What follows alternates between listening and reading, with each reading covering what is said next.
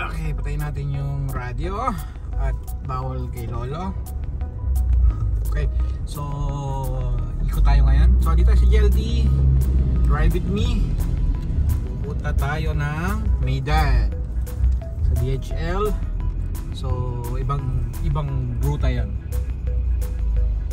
Pero inadaanan natin same lang.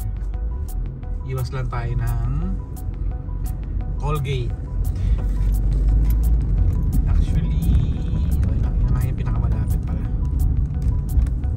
Side road. Sana hindi traffic.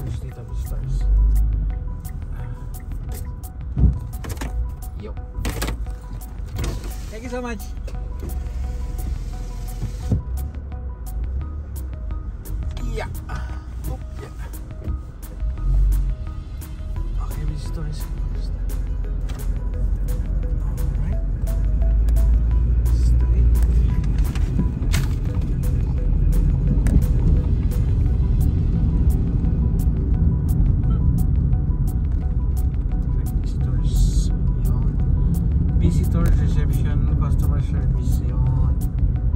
Uh, yun nandito tayo. Alright ang bilis. Okay pass tayo sa loob.